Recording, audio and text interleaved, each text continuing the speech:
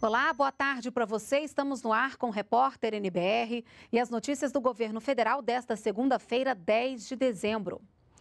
Começou hoje a intervenção federal em Roraima. O estado enfrenta uma crise migratória e também no sistema penitenciário. Vamos então falar sobre esse assunto com a repórter Luciana Colares de Holanda. Olá, Luciana, boa tarde para você. Olá, Renata, boa tarde para você, boa tarde a todos. O decreto que autoriza essa intervenção federal no estado de Roraima foi publicado no Diário Oficial de hoje. Então, a partir desta segunda-feira, a governadora Sueli Campos fica afastada do cargo e assume como interventor o governador eleito Antônio Denário. A escolha do nome dele foi do presidente Michel Temer, segundo ele, em respeito à soberania popular, já que Denário foi eleito pelo voto. No sábado, Michel Temer convocou uma reunião no Palácio da Alvorada para definir os detalhes dessa intervenção. O repórter Pablo Mundim acompanhou acompanhou e traz os detalhes numa reportagem. Vamos ver.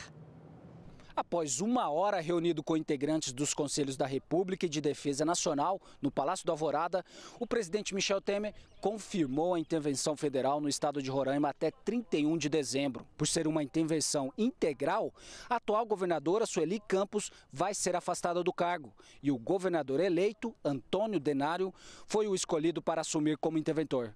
Nós resolvemos prestigiar a soberania popular que, pelo voto, designou o governador, o governador eleito, para tomar posse em 1 de janeiro. Então, nós achamos que a melhor solução seria efetivamente uh, nomear o governador eleito como interventor, até porque, convenhamos, nesse momento, eles já estão lá fazendo a transição de um governo para o outro, e isso facilita muito as coisas. Mas o que eu quero também ressaltar é que nós não tomamos essa providência sem antes conversar com a governadora e vamos desejar que o povo de Roraima tenha tranquilidade, tenha absoluta convicção de que a relação é, político-institucional e político-administrativa entre o interventor e a governadora, portanto, entre os dois sistemas, será também muito tranquilo, muito pacífico. Né? O governo federal já vinha monitorando a situação no estado. Além da crise no sistema prisional e do fluxo de imigrantes venezuelanos, a crise em Roraima se agravou após o atraso no pagamento dos salários dos servidores estaduais. O relatório de inteligência, por exemplo, que é a parte que me toca,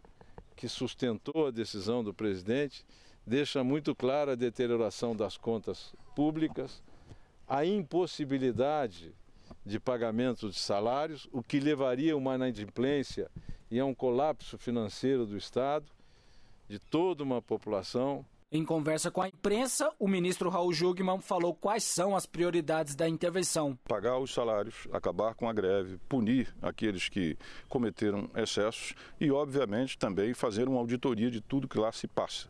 Então, isso é que tem que ser feito e que será feito.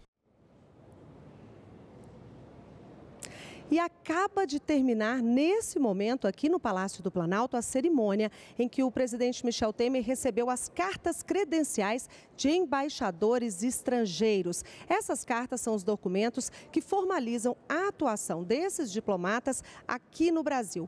Participaram da cerimônia embaixadores de 10 países: Irlanda, Austrália, República Eslovaca, Moçambique, Botsuana, Espanha, Panamá. Kuwait, Albânia e República Tcheca. Vocês podem ver que eles estão passando aqui atrás da gente porque a cerimônia acaba de terminar. Renata, voltamos ao estúdio. Obrigada, Luciana, pelas suas informações. Bom trabalho para você. E hoje é a diplomação do presidente eleito Jair Bolsonaro. A repórter Luana Karen tem as informações. O presidente eleito Jair Bolsonaro e o vice-presidente eleito general Hamilton Mourão serão diplomados pelo Tribunal Superior Eleitoral às quatro da tarde. A diplomação é uma cerimônia que atesta que o candidato foi efetivamente eleito pelo povo e, por isso, estará apto a tomar posse a partir de janeiro do ano que vem. A entrega dos diplomas acontece depois que os votos são apurados e termina o prazo de questionamento e de processamento do resultado das eleições. No caso caso de eleições presidenciais, é o TSE que faz a diplomação. Para os eleitos nos demais cargos, a entrega do diploma é de responsabilidade dos tribunais regionais eleitorais. Já nas eleições municipais, a competência é das juntas eleitorais.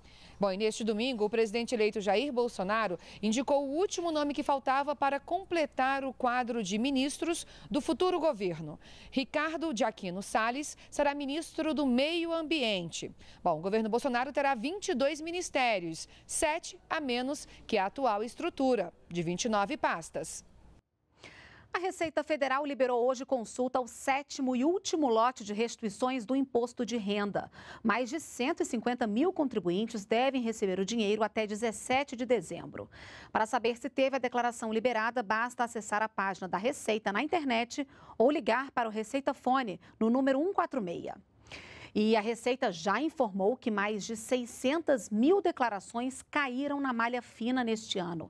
As principais razões que levaram à retenção das declarações são a omissão de rendimentos do titular ou seus dependentes, despesas médicas e dedução de previdência oficial ou privada.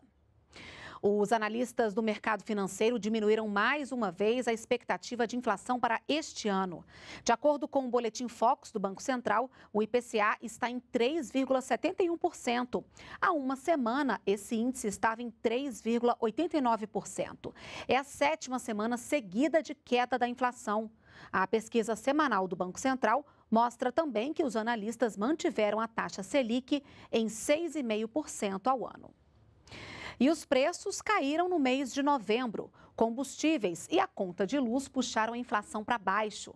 Vamos acompanhar os detalhes na reportagem de Márcia Fernandes.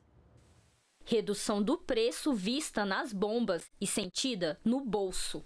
A gente vinha, vinha, sofrendo com o histórico de aumento da gasolina, que fez com que muito, a população deixasse de, de, de, trabalhar de carro, fosse muito, muitos amigos meus estão indo trabalhar de bicicleta. Então agora com essa redução eu vejo que é, melhora a qualidade de vida da, da população. Notícia boa para o Iago, que trabalha como motorista de aplicativos. A diferença faz todo dia, né? Para falar a verdade. Como a gente abastece todo dia, a diferença é todo dia. E para o Neri, que pega a estrada todo mês. Tu começar a somar em valores, mesmo que sejam centavos, no final dá um montante considerável.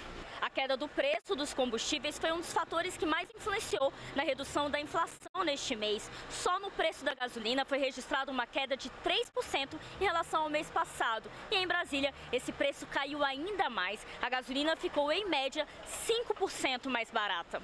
O Índice Nacional de Preços ao Consumidor Amplo, IPCA, indica a variação dos preços daqueles itens que fazem parte do nosso dia a dia, como a comida e o aluguel. É ele que aponta como anda a temida inflação. E neste mês, esse índice caiu 0,21%. Comparado com outros meses, é o menor IPCA desde junho de 2017. Se comparado com outros novembros, este é o com a menor taxa desde a implantação do Plano Real em 1994. Com esse resultado de menos 0,21, o IPCA acumula no ano uma variação de 3,59%. E nos 12 meses, o acumulado está em 4,05%. Alimentação e bebidas foram os itens que mais pesaram no bolso em novembro. Foi registrado um aumento de 0,39%. O preço da cebola, do tomate e da batata inglesa subiu. Já a queda no preço da energia elétrica ajudou na redução da inflação. Nas contas de luz, em vez de bandeira vermelha, bandeira amarela e menos gastos no fim do mês. Nós ficamos por aqui. Você acompanha a nossa programação ao vivo pelo site da NBR e todas as reportagens estão em nosso canal no YouTube. Acesse também o nosso perfil no Twitter. Você pode mandar sugestões de reportagens e dúvidas sobre programas e ações do governo federal para o nosso WhatsApp. Anote aí, 61998678787. Uma boa tarde para você, uma boa semana e continue com a gente aqui na NBR, a TV do Governo Federal.